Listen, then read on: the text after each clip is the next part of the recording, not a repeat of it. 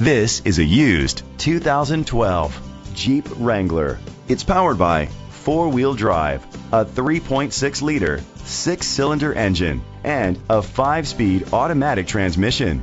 With fewer than 15,000 miles, this vehicle has a long road ahead. The features include Sirius XM satellite radio, digital audio input, steering wheel controls, an adjustable tilt steering wheel, cruise control, a trip computer, an MP3 player, privacy glass, power steering, an AM FM stereo with a CD player. Safety was made a priority with these features. Fog lights, brake assist, traction control, stability control, a passenger airbag, low tire pressure warning.